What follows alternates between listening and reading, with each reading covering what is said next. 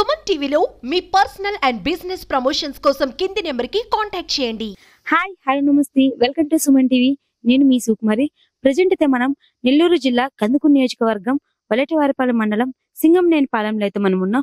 So ఇక్కడ చూసినట్లయితే main bus stand కాడ నుంచి ఊరు వెళ్ళే వరకు దారి మరీ దారుణం అండి. అసలు ఎన్ని సంవత్సరాల నుంచి ఇలా ఉందో ఒకసారి గ్రామస్తులు మాట్లాడి తెలుసుకున్నాం క్లియర్గా మేము చూపిస్తాం. మీకు విజువల్లో చూసినట్లయితే ఎంత దారుణం అంటే ఒక్కొక్క ప్లేస్లో అయితే మట్టి రోడ్ లాగా అనిపిస్తుంది. అక్కడికి వెళ్ళేంత వరకు కూడా అక్కడ గుంతుందని కూడా తెలియదండి. అడుగడుగున గుంతలు ఇక్కడ. సో మరీ దారుణం చాలా లోతుగా ఉంది. అక్కడ ఎంతో ఎంత నైట్ అయితే చాలా ఇబ్బంది పడతారు. ఒకసారి ఒకవేళ ఫాస్ట్గా వచ్చారనుకో అలాంటి వాళ్ళైతే నిజంగా చాలా యాక్సిడెంట్ అయితే ఇక్కడ జరుగుతాయి. ఒకసారి వీటి గురించి మీరు కూడా చూద్దురండి. ఎగ్జాంపుల్ మనకి ఈ ప్లేస్ చూపిస్తున్నాను. సో ఇది జస్ట్ మనకి ఓకే ఇది తార్ రోడ్డు ఇక్కడ ఇలా ఉంది అని అనుకోవచ్చు. కొన్ని కొన్ని ప్లేసెస్ చూస్తే మరీ దారుణం అండి. ఇక్కడికి వచ్చేంత వరకు కూడా మామూలు నార్మల్ గానే వస్తూ ఉంటారు. బట్ ఇలాంటివి చూసినప్పుడు స్లో చేసుకోవాలి. బట్ ఇది కనిపించట్లేదు. ఇక్కడ ఉంది వచ్చేంత వరకు దగ్గర వచ్చేంత వరకు కూడా కనిపించట్లేదండి. అసలు మరీ దారుణం. ఇప్పుడు ఇలా ఉందంటే నైట్ పూట ఎలా ఉండిద్ది? ఒక్కసారి వీటి గురించి ఎప్పటి నుంచి ఇలా ఉంది? ఎందుకు వీళ్ళు రోడ్డు వేయించుకోలేకపోతున్నారు? ఈ గ్రామస్తులు మాట్లాడి తెలుసుకుందాం పదండి. సార్. మీ పేరేంటి? మా పేరు వెంకటేశ్వర్లు. సార్ ఎన్ని రోజుల నుంచి ఈ రోడ్లు ఇలా ఉన్నాయి? ఎన్ని సంవత్సరాల నుంచి ఉన్నాయి? వైసీపీ ఫైవ్ ఇయర్స్ నుంచి ఉంది. ఫైవ్ ఇయర్స్ నుంచి. పట్టించుకోలేదు ఎవరు? ఎందుకు సార్? ఎందుకంటే గవర్నమెంట్ సంగతి ఎట్లా పరిపాలించింది తెలుసు కదా నీకు అంతే. సో ఇప్పుడున్న ప్రభుత్వాన్నైనా మీరు అడిగారా రోడ్లు బాగా చేయాలని? మేము ఇప్పటికేం అడగలేదు. కానీ మా గవర్నమెంట్ ఏదో చేయాలని వస్తుంది వచ్చిన మూడు నెలలు కాబట్టి ఇంకా కొంచెం వెయిట్ చేయాలి. థ్యాంక్ యూ సార్ నమస్తే సార్. మీ పేరెంట్స్ సార్ అంజీ. సార్ రోడ్లు ఎలా ఉన్నాయంటే అసలు ఈ ప్లేస్లో ఈ గుంతుందా అని దగ్గరకు వచ్చేంత వరకు కూడా మాకు కూడా తెలియడం లేదు సార్ ఇంత దారుణంగా ఉన్నప్పుడు ఎందుకు మీరు అడగలేకపోతున్నారు? సార్ ఎందుకు రోడ్లు వేయించుకోలేకపోతున్నారు? ఫైవ్ ఇయర్స్ అడిగే అవకాశం రాలేదు. ఈసారి అడిగే అవకాశం వచ్చింది. ఖచ్చితంగా ఎమ్మెల్యే గారికి చెప్పున్నాము.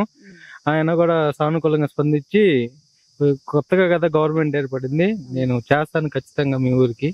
మాకుంది. ఇది ఒక్కటే సమస్య రోడ్డు సమస్య. నేను ఖచ్చితంగా చేస్తా అని చెప్పి చెప్పారు. Okay thank you sir. నమస్తే సార్. మీ పేరేంటి? నా పేరు శ్రీహరి. ఎన్ని సంవత్సరాల నుంచి ఇలా రోడ్లు ఉన్నాయి సార్? ఇది ఉందమ్మా ఒక నాలుగు సంవత్సరాలు మూడు సంవత్సరాల చెట్టు ఉంది. కానీ ఆ గత ప్రభుత్వంలో చేయల. ఇక ఈ ప్రభుత్వం నేను చేస్తారేమో మాకు ఇంక ఇన్ఫర్మేషన్ తెలియదు. ఆ, మరీ దారుణంగా ఉన్నాయి ఆ, సార్ అన్ని ఆ- అవును రోడ్లు. అవును అవును. సో అసలు మేమే రాలేకపోయాము ఇక్కడ. Okay sir thank you sir sir.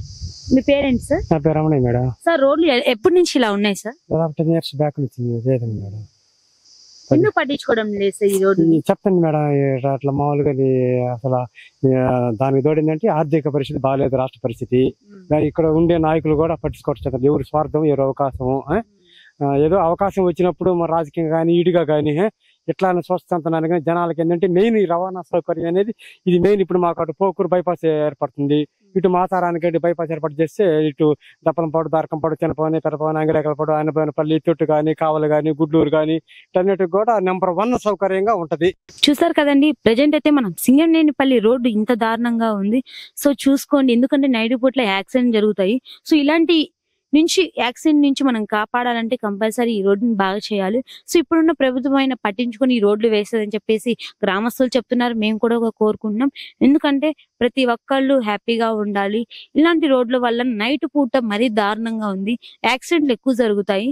So పట్టించుకొని రోడ్లు వేయాలని చెప్పి మనస్ఫూర్తిగా కోరుకుంటున్నాం. సో ఇంకెందుకు చూస్తూ ఉండండి మరిన్ని వీడియోస్ కోసం మీ సుమన్ టీవీ కెమెరామెన్ చందుతో నేను మీ శివకుమారి.